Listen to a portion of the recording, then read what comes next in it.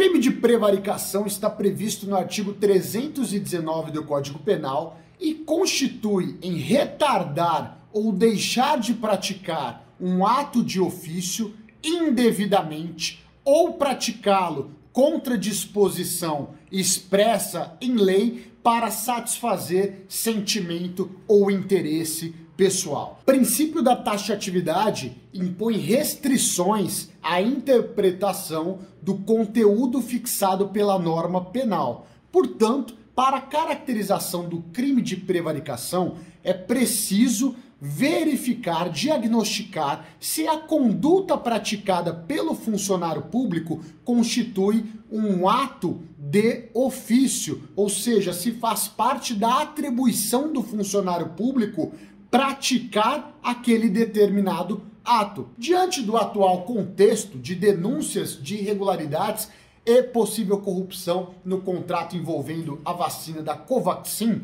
todos têm se perguntado se o presidente da República, ao tomar conhecimento é, dessas irregularidades, desses ilícitos, teria prevaricado. Pois bem, ao meu sentir, não. Por quê? Embora possivelmente tenha deixado de praticar um ato, ou seja, dar prosseguimento à notícia crime, comunicando os órgãos de persecução penal, em especial a Polícia Federal, possivelmente para satisfazer o interesse pessoal, tendo em vista que o deputado é, envolvido, né, citado aí pelo denunciante, seria um deputado aliado do presidente da República, não constitui ato de ofício, ou seja, não é uma atribuição específica do, do, do, do, presidente da República, enquanto no exercício de uma função pública, dar andamento à notícia crime. Diante disso, eu registro que na lei dos crimes de responsabilidade da infração político-administrativa,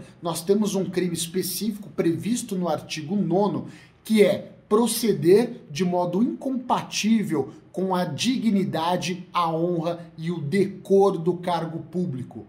No meu sentir, a conduta do presidente que toma conhecimento de uma possível corrupção ou de irregularidades num contrato de tamanha magnitude que tenha empenhado é, é, dinheiro público muito significativo e que no atual cenário de calamidade de saúde pública esse dinheiro poderia ter sido empenhado em outro contrato de modo eficiente a comprar vacinas que efetivamente existam por um preço justo para salvar milhões de vidas de brasileiros, não dar andamento e não comunicar os órgãos de persecução penal constitua crime contra a probidade da administração pública nos termos do artigo 9 da Lei de Responsabilidade.